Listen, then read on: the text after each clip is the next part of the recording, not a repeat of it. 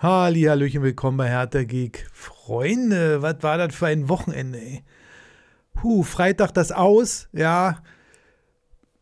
Spanien hat uns besiegt, aber ganz ehrlich, also, was ist denn das mit dem Elfmeter? Wurde jetzt zu Genüge besprochen in den Medien, ja. Aber ich muss auch nochmal meinen Senf zu geben, weil dieses zweierlei Maß, ja, das ist äh, ätzend. Äh, wir denken mal an den Elfmeter gegen Dänemark, ja. Da wurde äh, der Ball mühmäßig mit der Hand berührt, ja, sodass man tausendmal in der Wiederholung, ja, mit der geilsten Technik ever das irgendwie nur bestimmen konnte. Ja, und ich weiß auch nicht, ich weiß gar nicht mehr, ob der Ball eine andere Flugrichtung bekommen hat, aber egal, war ein Elfmeter und dann so ein Ding gegen Spanien. Ja, da brauchte man gar keine äh, Zeitlupe oder so. Wer das Spiel aufmerksam beobachtet hat, hat gesehen, der Junge hat Hand genommen. Ja? Und äh, das ist doch schon mal Indiz dafür, dass der Schiri rausgeht, sich das nochmal anguckt. Ja, wurde ja oft genug besprochen, aber letztendlich hätten wir vorher Tore machen müssen und hätten dann als Sieger vom Platz gehen können. Ja, das ist ja auch schon mal zu nennen, aber trotzdem, ich, ich verstehe das, also weiß ich nicht, mit diesen Elfmeter-Regelungen, das wird nie, nie funktionieren. Trotzdem ärgerlich. Ja, aber dann positiv.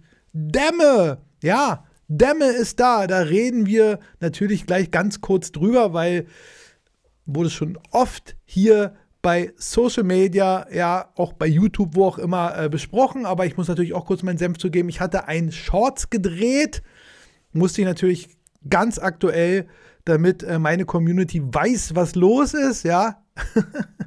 Aber hm, kann man kurz noch mal anschneiden. Das war ja dann Samstag, äh, wo ich dachte, pff, ja, also ich habe eigentlich nicht damit gerechnet, dass Samstag der äh, Dämme vorgestellt wird. Aber ich glaube, er ist irgendwie ein bisschen spät gelandet. Ich glaube, er kam ein bisschen spät nach Berlin zum Treffen in die Geschäftsstelle und so weiter vorm Spiel. Und äh, das war alles sehr eng und deswegen wurde es wahrscheinlich verzögert erst äh, rausgebracht, ja, an uns. Aber äh, ja, das war natürlich sehr positiv. Äh, dann müssen wir natürlich äh, noch über zwei Spieler reden, ja, hm, für die eine böse Strafe eigentlich, wenn man so will. Und äh, Kempfi ja, unser Marc-Oliver Kempf wird, soweit ich das hier äh, mitbekommen habe, über die Bild äh, Hertha treu bleiben. Er wird Hertha nicht verlassen. Das ist schon mal richtig geil. Darüber reden wir jetzt kompletto. Ich äh, hau mal einen rein hier oder beziehungsweise einen raus äh, mit Diego Demme. Ja, jetzt ist es ja soweit. Wir haben ihn ja alle, ja, herbeigerufen. Ja, die Fans waren ja total äh, äh, nervös. Die dachten schon, nachher funktioniert da irgendwas nicht. Ja, mit dem, mit dem Dämme. Aber letztendlich hat es jetzt funktioniert. Hm. Der Gute hat äh, bis 2026 unterschrieben. Ja, einen schönen Vertrag oder Arbeitspapier.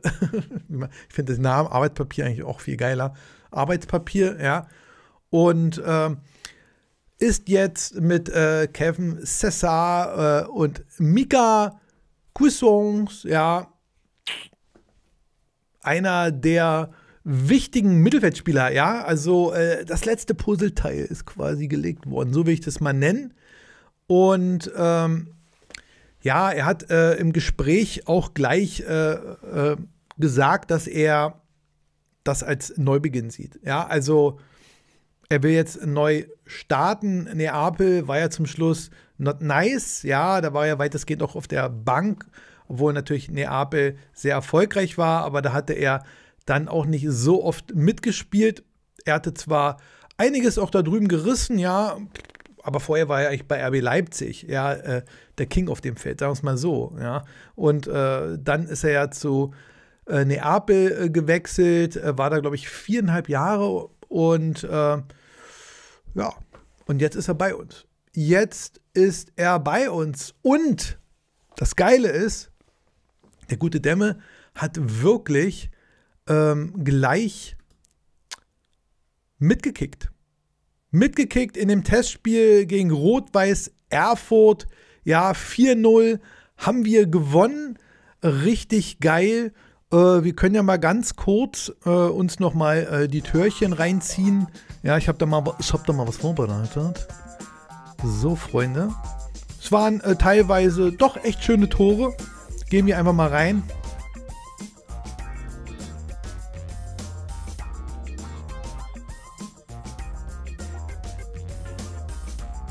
Ja, dermaßen geil zu dem ersten Tor. Rese hat es ja angekündigt in der Kabine. Auf geht's. Ich sei bereit bei der ersten Ecke und zum Tor.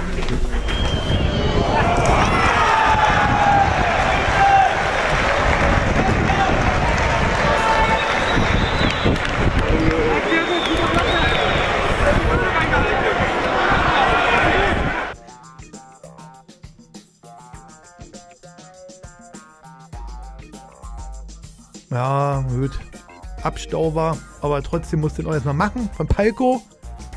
Ja. Schön klar gemacht. Ups.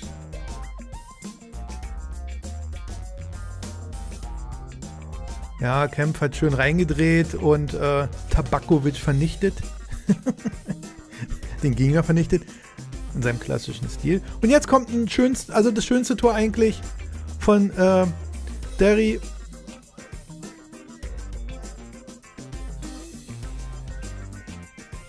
Also muss ich echt mal sagen, Stoppi. Gehen wir wieder rüber, ja. Haben wir mal die Tore nochmal gesehen, ja. Also ich meine, der ähm, absolute fanatische Tana hat die natürlich schon zu Genüge gesehen, ja.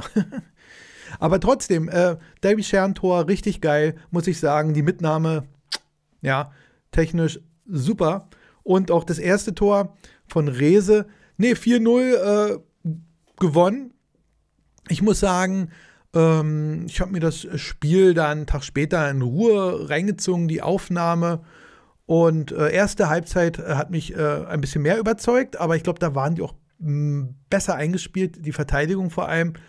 Ähm, Kempf war sehr bissig und ähm, wer da wirklich rumgewirbelt hat und das absolut auffiel, war unser Cuisance. Ja, also äh, muss man sagen, der fiel wirklich auf. Ich hatte ja im letzten Video, glaube ich, darüber berichtet, wie er im Training für Furore sorgt, ja, irgendwie äh, auf sich aufmerksam macht, äh, einer der Antreiber, ja, und alle sagen, wow, was ist mit dem los? Der ist ja richtig aufgezogen, ja, der ist ja fit on fire. Und man hat es im Spiel auch gesehen. Der, der will was reißen. Also bei dem merkt man wirklich, der ist hier auch angekommen, hat auch das, den Vorteil, dass er äh, auch schon das eine oder andere äh, Trainingsspielchen mitmachen konnte. Und ähm, sah sehr gut aus, hat mir sehr gut gefallen. Erste Halbzeit hat mich sehr überzeugt, muss ich sagen. Wirklich. Also ähm, dann zweite Halbzeit, ja, wurde er komplett durchgewechselt. Dann kam ja Cesar und Dämme, Dämme, ey, der hat noch gar nicht mittrainiert und gleich ein, reingeworfen. Ja, gleich reingeworfen. Äh, die sechs, ja, äh, in dieser Saison sind ja die äh, Nummern ein bisschen gemischt worden. Der eine hat die, die andere die, ja, ein bisschen getauscht untereinander, bla Der hat jetzt die 6. Ich glaube, Karbovnik, ich weiß nicht, ob der die 6 hatte. Ja, der glaube ich ist eine 33. Ich weiß nicht, wer die vorher hatte, aber es ist irgendwie so gemischt worden. Ja, ich weiß auch nicht warum. Ähm, aber äh, Cesar und Dämme äh, waren dann zweiten Halbzeit äh, drin ja, äh, diverse andere waren noch drin, aber wer auch viel war, Karbovnik auf jeden Fall wirklich mega, mega gewirbelt. Ja, also Karbovnik und Cuisance waren für mich die Gewinner in diesem Spiel. Hat man sofort gemerkt, die sind richtig auf dem Platz, die laufen, marschieren, richtig geil, super. Ja, auch unser hier Löwe, Kampflöwe, Sefui kam auch und außen richtig bissig. Und dann eben Derry Shant, ja, hatte eben das wunderschöne Tor geschossen und der fiel auch auf. Und dann natürlich Dämme. Er hat dann noch in der letzten Minute, damit die Null steht, richtig ein reingegrätscht hat. Wenn das mal gutes Deutsch ist. Naja. Weggegrätscht hat er den, wollte ich sagen, ja. Weggegrätscht, dann war Abpfiff. Er hat eine gelbe gekriegt. Aber da hat man gemerkt, nee, Demme, man, ey, wenn man überlegt, dass der wirklich noch gar nicht mittrainiert hat und einfach reingeworfen wurde und gleich so ein bisschen so, ja, die Mentalität hatte, ich führe das Spiel hier, ja, über mich geht hier all, also Wahnsinn. Hat mir gut gefallen, Demme, ja, Cesar, aber nicht ganz so offensiv, er hatte auch gute Momente, aber ähm, nein, an sich wirklich ein, ein munteres Spielchen. Äh, Fiello war an der Seite sehr aktiv, ja. Immer wieder die Spieler rangeholt äh, und gesagt, mach mal das, mach mal das. Ja, bisschen Veränderungen, gleich angezeigt und so. Finde ich gut. Also ein gutes, gutes Testspiel. Hat mir echt gefallen. Ja, so was hier. Und was an diesem Tage, ja, noch richtig nice war, Freunde. Da gab es ja noch eine richtig gute Geschichte rund um dieses Testspiel. Ja. Nämlich total abgefahren. Der gute Dennis, ja, der von Hertha TV, der das Spiel ja moderiert hat, ja, ähm, hatte dann aufgerufen, doch über Spendebutton, ja, beim Live-TV kann man das machen, äh, was zu geben, ja, damit Hertha TV auch noch das ein oder andere sich besorgen kann, kaufen kann, verstärkt wird mit äh, äh, Spendengeldern.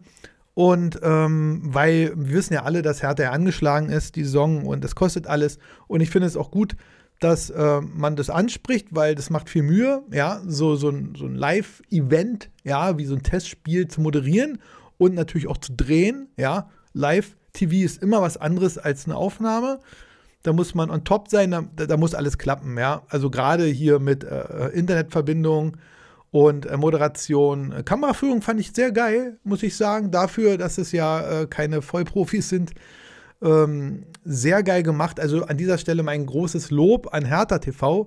Und Dennis hat das eben so erwähnt und so. Und sage und schreibe, kam da echt 1168 Euro zusammen während des Spiels. Leute, das war, das war der Wahnsinn. Also Dennis kam gar nicht mehr raus, äh, sich zu bedanken bei dem und denen. Ich glaube, einer hat doch mal 100 Euro ja, reingeworfen und 50, dann ganz viel 10 und 3, 5 und so weiter. Alle Zahlen, vielen Dank. Aber ich glaube, 100 Euro war die größte Spende. Sehr geil.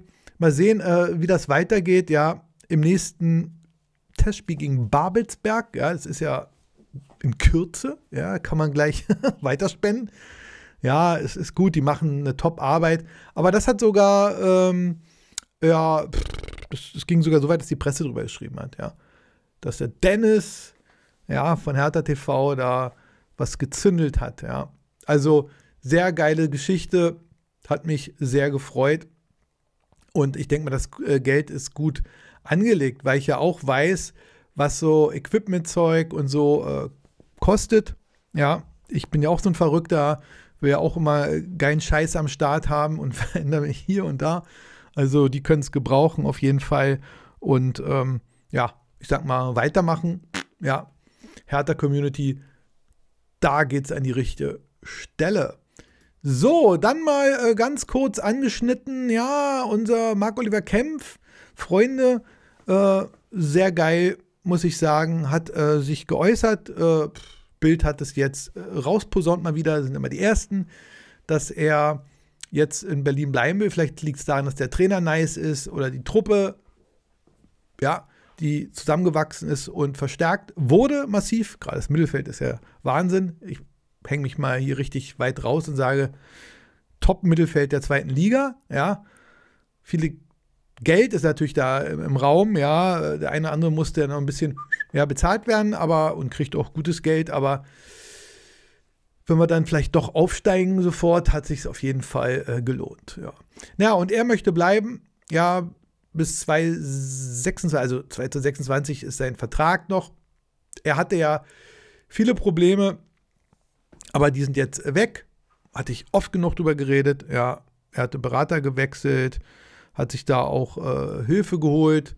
Ja, und äh, psychologische immer sehr gut, wenn man sich nicht wohlfühlt, gerade als Profisportler kann das eine Menge bringen.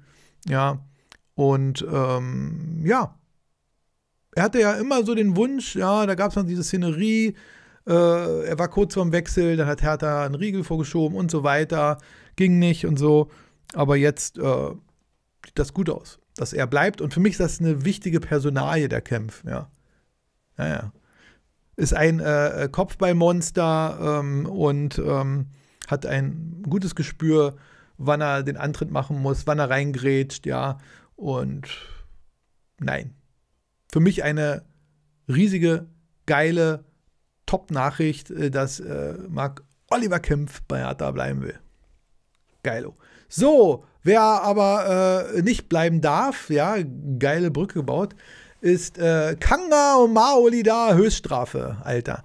Ja, also das wird auch so geschrieben, Höchststrafe. Ich meine, gut, sie werden schon bestraft, indem sie nicht äh, mittrainieren dürfen, ja, und am Training teilnehmen. Quasi, das ist so, ja, also ich sag mal, wenn der Trainingsplatz äh, Schenkendorf da äh, geräumt wird, äh, dann äh, dürfen die ruf. Ja, das ist halt so. Also, ähm, das ist ein bisschen äh, heftig, aber das sind eben Verkaufskandidaten, die gar nicht erst ins äh, Mannschaftsgeschehen eingebunden werden sollen. Ja, die sollen, die sind nur zum Verkaufen noch. Ja, also das ist äh, krass. Trainingsgruppe 2 nennt sich das, ja. Ab Abschiebegruppe. Da gibt es Lauftraining und so weiter. Die müssen ja fit bleiben. Und ähm, ja, das ist eigentlich nichts Neues. Wir hatten ja schon mal äh, so eine Aktion, äh, wo Hertha sich neu äh, aufstellen musste nach dem Abstieg. Und äh, da war ja äh, Toussaint, äh, Schwolo unser Keeper und dann äh, Dudi Luca Kio und äh, Christoph äh, Bertek, ja, und so, die waren dann auch in dieser Trainingsgruppe 2, weil die auch ich teilweise ja auch alle weg wollten und dann äh, zum Verkauf bereit standen, ja. Und naja, und das ist für die eigentlich schon eine Strafe. Einerseits, dass sie jetzt abwarten müssen, nicht mittrainieren dürfen und so weiter. Ja, ich meine, äh, Ole Kanga hatte ja echt viel Erfolg. Ja, wenn man überlegt, bei äh, Standard äh, Lüttich äh, hatte er immerhin neun Tore in 27 Spielen erzielt. Es war echt eine gute Geschichte. Und Mauluda glänzt in Schottland, ja, bei äh, Hibernian Edinburgh und hatte dort elfmal geknipst und äh, 20 Spielchen absolviert. Ja, also ähm, eigentlich gute Zahlen, aber äh, Hertha möchte sie auch nicht mehr und sie soll noch Geld bringen. Ja, am besten die 10 Millionen, die man sich äh, erträumt, ja, die man äh, haben möchte. Naja, wir werden sehen, ob es nachher wirklich so viel wird, aber jedenfalls ist es ähm, eine doofe Situation für sie, sag ich mal. Sie fahren auch nicht ins Trainingslager mit, gar nichts, niente, da bleiben sie auch zu Hause und äh, trainieren dann nicht mit, oh geil, hier ist gerade das Frontlicht ausgefallen. Live, Freunde, Frontlicht. Auch ein Zeichen, dass ich jetzt diese Sendung beende. Richtig geil. Ja, ich war eher am Ende, Freunde. Ja, äh, stabil bleiben. Bis zum nächsten Video. Bis dann, ciao.